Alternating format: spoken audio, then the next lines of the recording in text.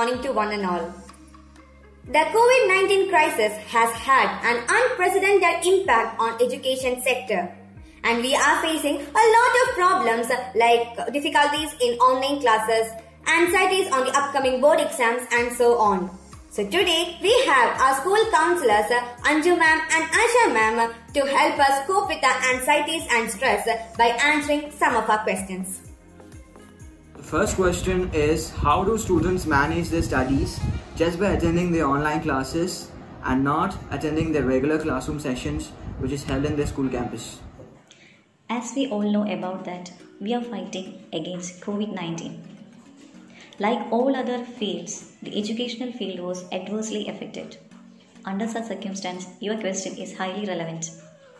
The live classroom educational system has been entirely changed into an online mode of education to meet the current situation. But still, we are not able to adjust with the online mode of education. As your school counselor, I want to tell you one thing don't feel lonely in the situation. Mental power it is the most important thing to solve all the problems in our life. All of you must understand the importance of education in our life. At first, the online class was really a new experience to uh, for us, but later on, it became a part of our life. I want to give you some tips or suggestions for utilizing the online class effectively. First of all, have faith in yourself. Build a high level of self confidence. Secondly, work hard. This is a key to success. Attend your online class regularly without skipping and prepare a lecture note based on your online class. Proper and effective communication between your class teacher and subject teachers. And find out a calm and quiet place for your online class. And use online library also. Avoid distractions like uh, using uh, TV, WhatsApp, Facebook during your online class. And lastly, be positive. I hope my answer is clear. Taking online classes without a break is said to causing a lot of problems like dry eye syndrome, burning sensation of eyes and so on. Can you suggest some methods to reduce the stress on eye during online classes? Continuous use of mobile phones will damage your eyes. It will also affect your vision very badly.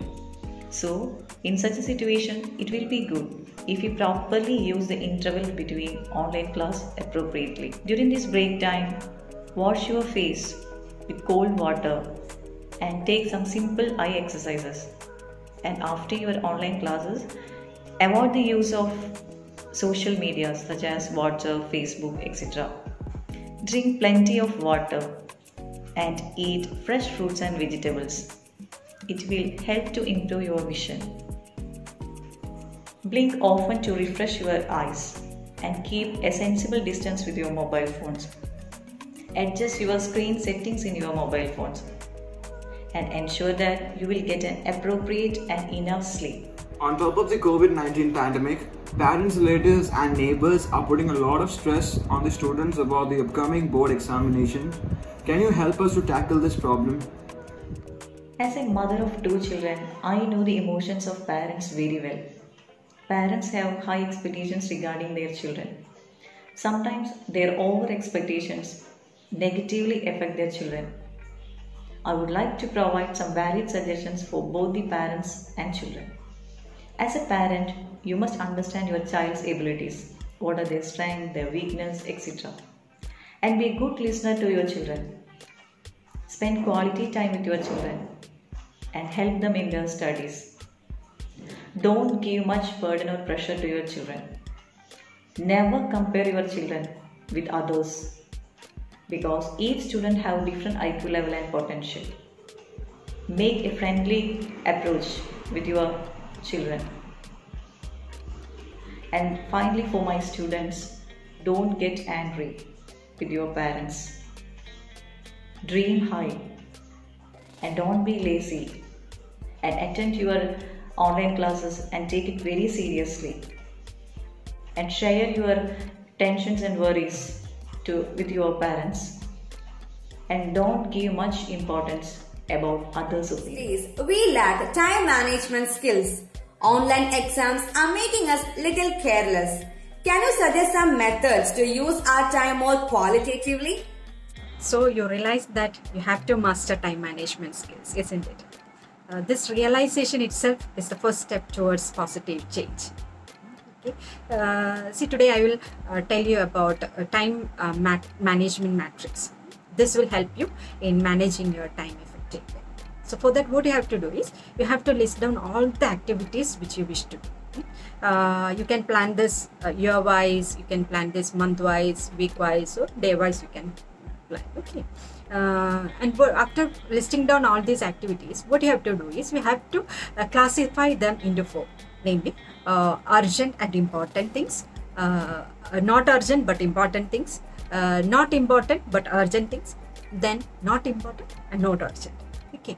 After classifying these into four, what you have to do is those things which come under the classification important and urgent that you should do right now you should give priority first priority to that. Then second uh, classification that is uh, important but not urgent. Those things you know uh, you have to plan. You have to um, plan a time for doing that. You know it is uh, not it is not urgent but it is important. So you have to do it. You can plan a time for doing that. Okay. And the third one which is not important but urgent. It is urgent but it is not important so such things know you, you can delegate it. Since it is not important it is not necessary that you yourself should do it.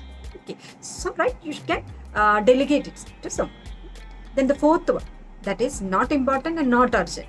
Such things what you can do. Many of the things you can draw know uh, it may not be necessary ones. So uh, by planning your activities in this manner no you can uh, manage your time effectively. I hope this will help you During this lockdown period, we're all cooped up in our houses. We cannot go out to play and are not able to engage in physical activities. Will this physical inactivity going to affect us? I understand, Gaurav. You miss your school, your friends, uh, your lovely PT periods. See, we all are in a new situation right now, isn't it? The so called new normal situation. See, we should not forget one thing that we all are blessed with the capacity to adapt to the new changes that happen in our life.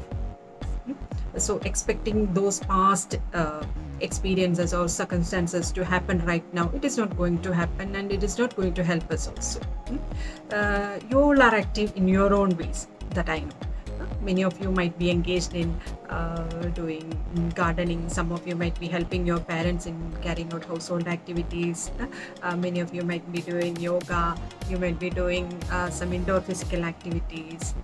So there are lots of opportunities uh, to keep us uh, fit. Uh, you must understand one more thing that is each moment is unique. So understand that live in present. So this present has uh, lots of opportunities in store for us. So try to explore it. Life is beautiful here. You all are active in your own ways. So uh, be active. Don't worry. This will keep you fit and healthy. Okay. So enjoy life. Be active. Friends and friendship plays a very important role in our daily life. But these days, we are not able to chum around with our friends, and this is creating a lot of mental trauma for us. Can you suggest some methods to overcome this stress? Dear Niranjana, you are focusing on something which you used to do and enjoy in the past, and you're pretty sure that you can't do it right now. This thought itself is giving you the pressure and trauma. So, you know, by focusing on the impossibilities, you are missing out some precious moments of your life. Don't you think this pandemic has given you golden opportunities to spend quality time with your parents and siblings? You have got enough time to read, write, and engage in your own hobbies. And this technology is so developed that you can have uh, virtual meetings with your friends and you can communicate with them. You should communicate with them and you should be in touch with your friends. Uh, and we all are inside our house for a noble cause, isn't it? It's to help others and to help others. Be proud about that. Shift your thought pattern from impossible to possibilities, dear. Huh? Lots of opportunities are and fun are awaiting us. So find it out, explore it, and make use of these opportunities and be happy.